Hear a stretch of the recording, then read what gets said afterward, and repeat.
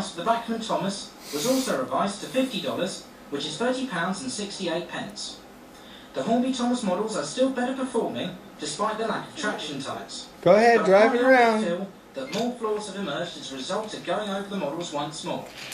The difference There's Mikey. year is this one. Mikey just loves playing Thomas Train. Who's the one on the back? What's her name? Far, far too expensive for what it is. Emily. Yeah. That's nearly $82. Say Emmy again. For a model Emily. Has been in the range since the mid 1990s. Good. Is ridiculously overpriced. Does she make noise and her light turns on? Push her button. But you can almost buy two of them for the price of one Hornby Thomas.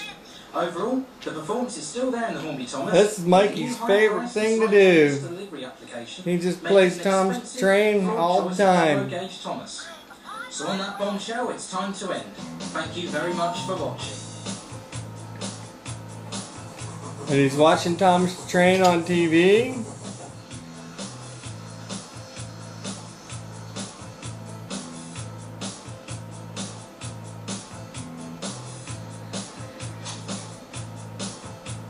Let's see it go on this track over here. Go through uh, all those. Show people how you climb up there and go park them and stuff.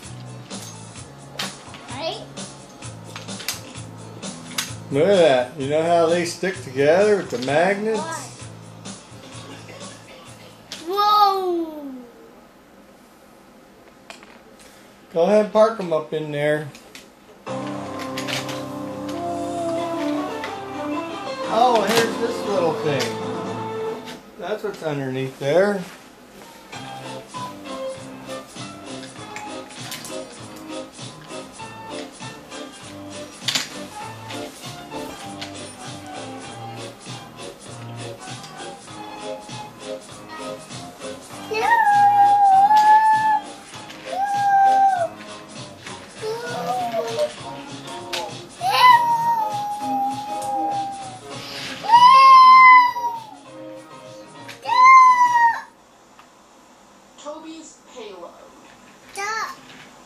Part 1.